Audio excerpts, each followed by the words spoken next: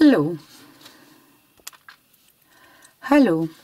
Wie man so ein Muster häkelt, zeige ich euch heute. Ich verwende dafür die Woolly Hacks Nobly. Sie besteht zu 74% aus Baumwolle und 26% aus, aus Seide und sie läuft 125 Meter auf 50 Gramm. Ihr benötigt zwei Farben nach eurer Wahl. Und für das Striegelmuster benötigt ihr Häkelnadeln und Stricknadeln, die man an ein Seil klicken kann.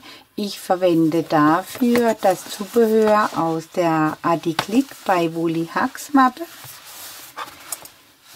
Ich verwende die Häkelnadel Nummer 5 und dann brauche ich drei Stricknadeln, einmal die 5,5er und zweimal die 5er. Dann brauche ich noch Seile. Hier nehme ich zwei Stück. Die Länge spielt hier keine Rolle. Sollte circa 70 Maschen auf die Nadel gehen. Nun klicke ich das Ganze zusammen. Einmal eine Häkelnadel, auf der anderen Seite die 5,5er Stricknadel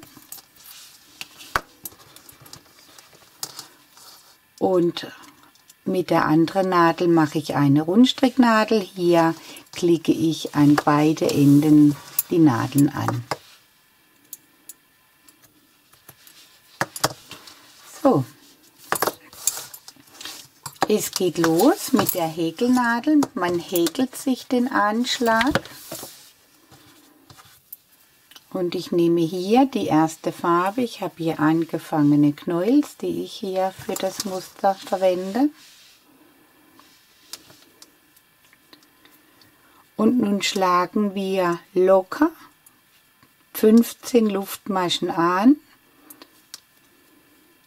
oder wir nehmen 19, dann können wir eventuell auch unsere Maschenprobe besser ausmessen. 6, 7, 8, 9, 10, 11, 12, 13, 14, 15, 17, 19. Nun drehen wir die Luftmaschenkette leicht nach vorne. Die Schlinge auf der Nadel ist meine erste Masche und auf die Rückseite, auf der Rückseite befindet sich diese querliegende Schlinge. Aus der 18. Luftmasche fasse ich nun eine Masche auf und lasse sie als Schlinge auf der Nadel liegen. Und so mache ich das mit den anderen Luftmaschen alle auch. Ihr seht, hier unten bildet sich eine schöne Kante die eben nur entsteht, wenn man hier aus dem querliegenden Maschenglied die Maschen auffasst.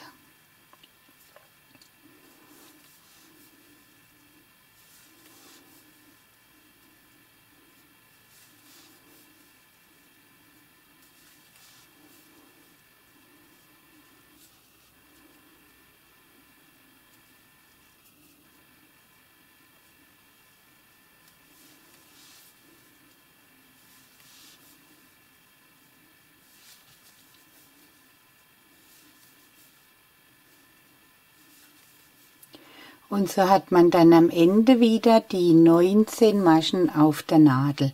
2, 4, 6, 8, 10, 12, 14, 16, 18, 19. Das war die erste Reihe. Für die zweite Reihe schiebt man nun die Nadeln an das andere Ende.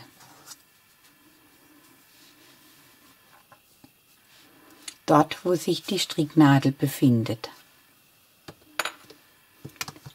Jetzt nehme ich auch meine zweite Farbe.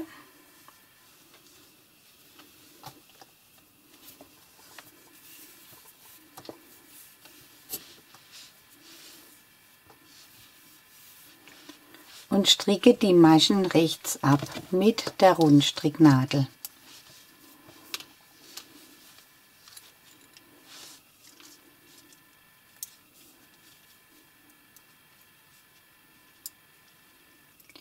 Und zwar stricke ich sie rechts verschränkt ab, weil die Maschen so auf der Nadel liegen, dass wenn ich eben von vorne nach hinten einsteche, wie eben zum Verschränktstricken, dass ich dann die Masche schöner, dass, also dass sie sich nicht im Maschenbild verdreht.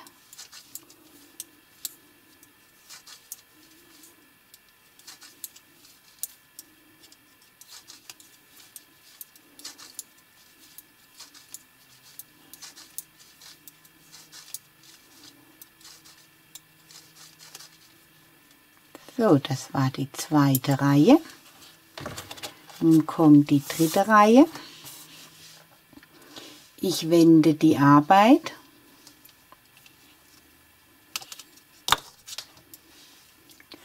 Und stricke die Maschen mit der, Häkel, mit der Nadel, an der die Häkelnadel hängt, rechts ab.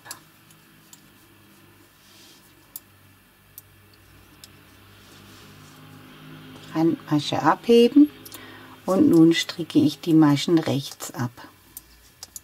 Hier steche ich jetzt wie gewohnt ein.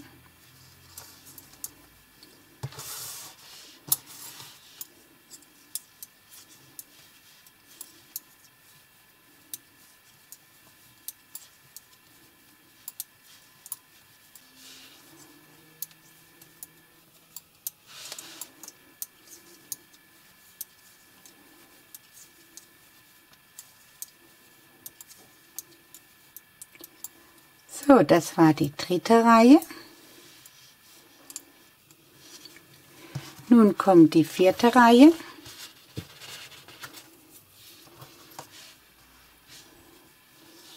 Ich wende die Arbeit und stricke die Maschen mit der Rundstricknadel, also da, wo beide Stricknadeln hängen, stricke ich nochmals rechts ab.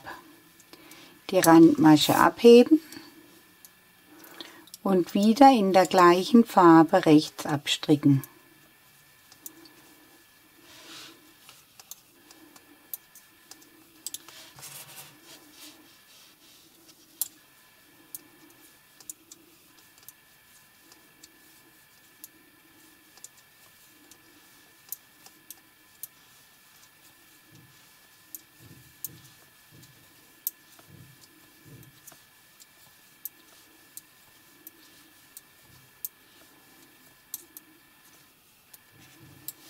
So, das war die vierte Reihe.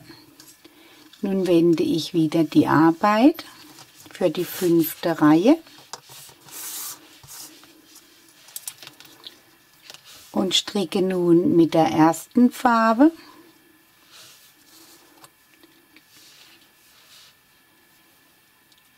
die Maschen links ab.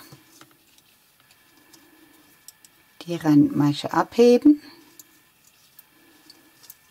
und die Maschen links abstricken.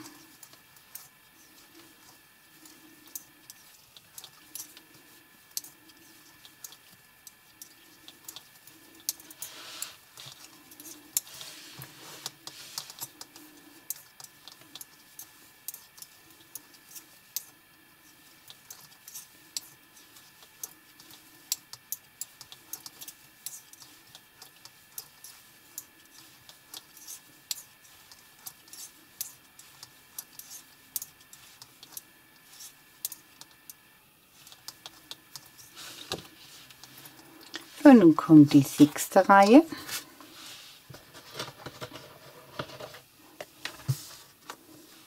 Ich schiebe nun die Maschen ans andere Nadelende, dort wo die Häkelnadel ist.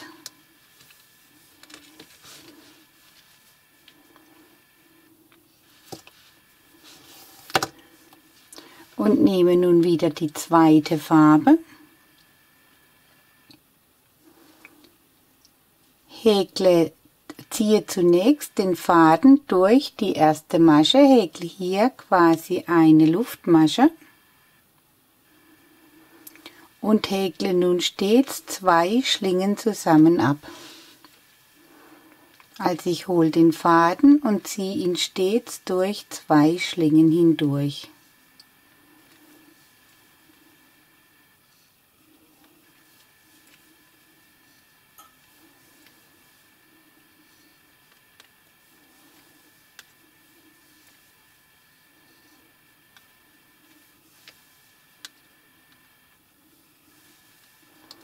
Und das mache ich nun, bis nur noch eine Masche hier auf der Nadel liegt.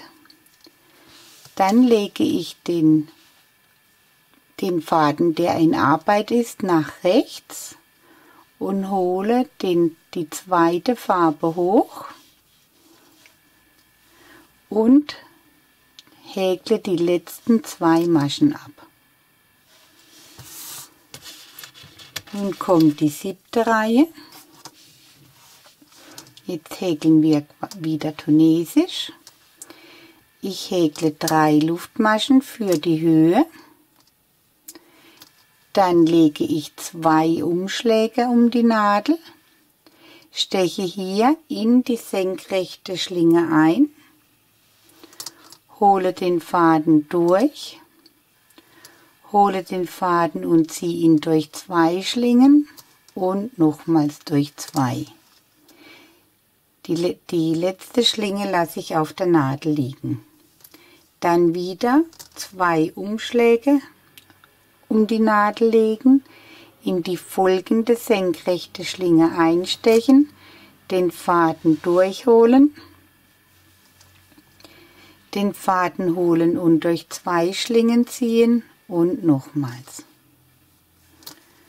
Und so arbeite ich nun in jede Schlinge ein Doppelstäbchen und lasse eben immer die letzte Schlinge als Masche auf der Nadel liegen.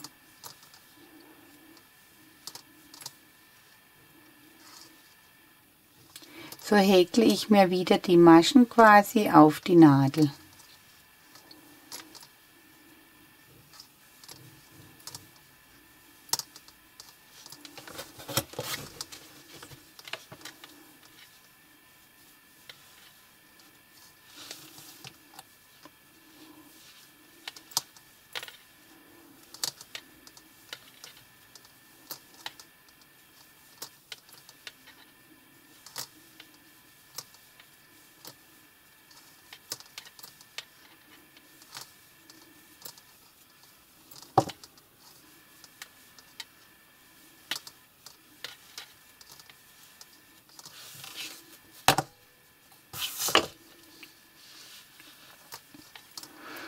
Während man tunesisch häkelt, liegt eben die Rundstricknadel beiseite, die hat man dann gar nicht in Arbeit.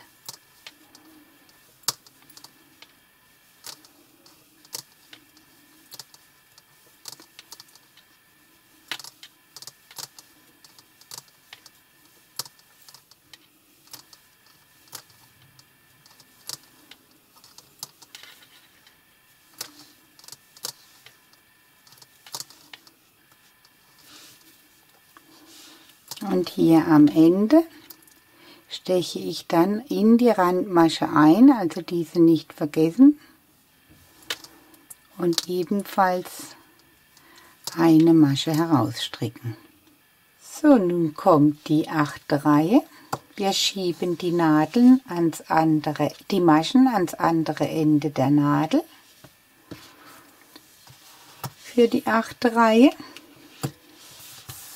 und stricken die Maschen mit der Rundstricknadel.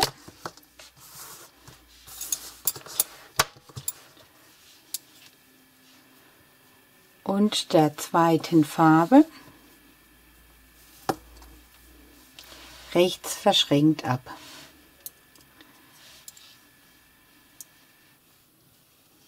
Hier darauf achten, dass man nicht zu sehr anzieht und nun wieder auf der Rückseite der Maschen einstechen und die Maschen rechts verschränkt abstricken.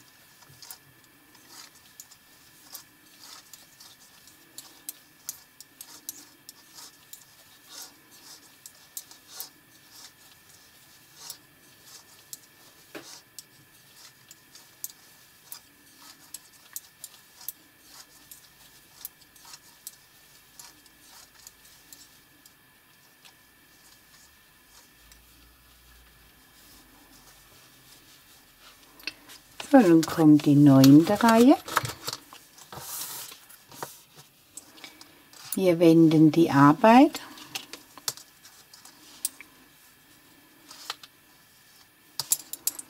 Wechseln auch die Farbe. Stricken die Randmasche links ab und stricken nun alle Maschen links ab stechen aber über den Faden ein und ziehen den Faden nach hinten durch. Wir stricken also die Maschen links verschränkt ab.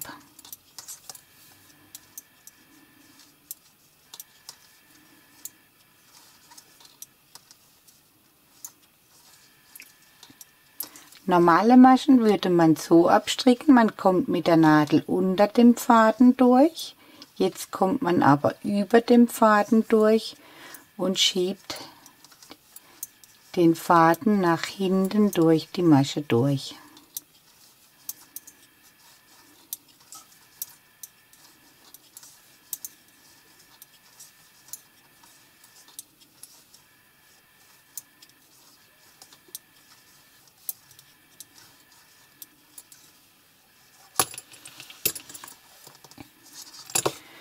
So, nun schiebt man die Maschen auf die andere Seite. Jetzt kommt nämlich wieder die sechste Reihe bis zur Häkelnadel. Sind wir wieder in der sechsten Reihe. Nehmen die, die Farbe, die dort am Nadelende ist. Die Rundstricknadel legen wir zur Seite.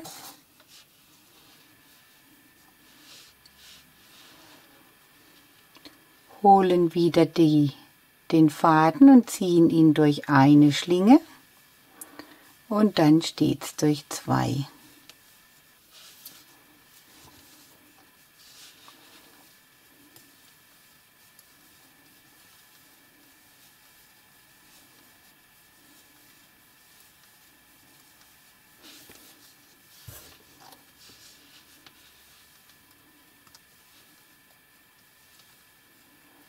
Und die letzte Masche dort den Faden nach rechts legen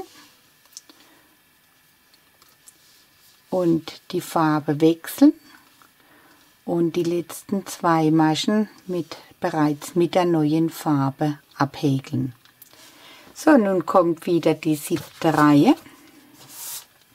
Noch ein kleiner Trick, um hier diesen, diesen Spannfaden noch etwas mit einzuweben arbeite ich die erste Luftmasche und die zweite Luftmasche arbeite ich um den Faden herum und dann die dritte. So habe ich ihn hier mit eingewebt. Dann kommen wieder zwei Umschläge auf die Nadel, einstechen, Faden holen und zweimal zwei Schlingen abmaschen.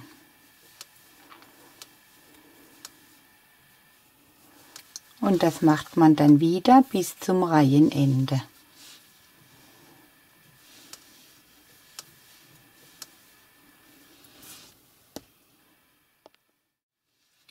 So, ich bin am Ende der Reihe angelangt, habe jetzt hier nur noch die Randmasche.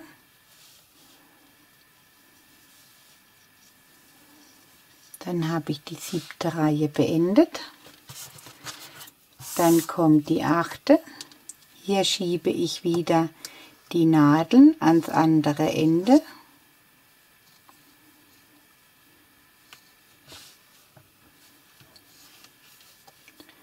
Hol die Rundstricknadel und stricke die Maschen rechts verschränkt ab.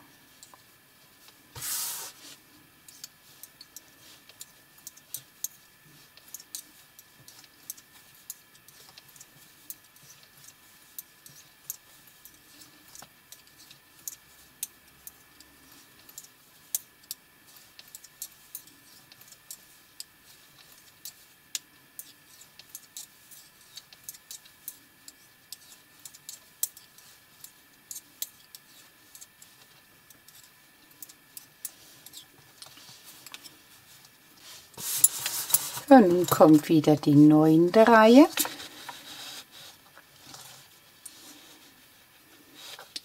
Ich wechsle die Farbe und stricke mit der Nadel, an der die Häkelnadel dranhängt, die Maschen links ab, die Randmasche noch normal und dann steche ich wieder über der, dem Faden ein, also ich stricke wieder die Maschen links verschränkt ab.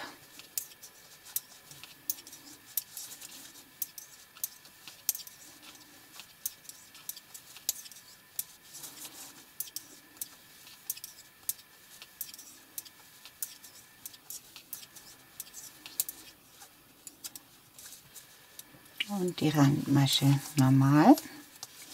Und jetzt kommt wieder die sechste Reihe. Ich schiebe jetzt wieder die Maschen auf die Häkelnadel, also ich schiebe sie ans andere Ende der Nadel.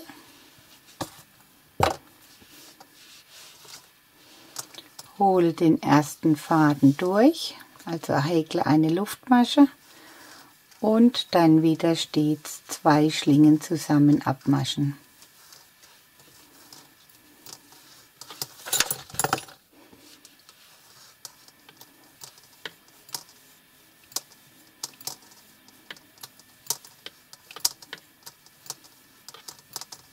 Und die letzten zwei wieder liegen lassen, den rosafarbenen Faden, also den Arbeitsfaden nach rechts und den neuen Faden auf der Rückseite hochholen und die letzten zwei Schlingen abmaschen.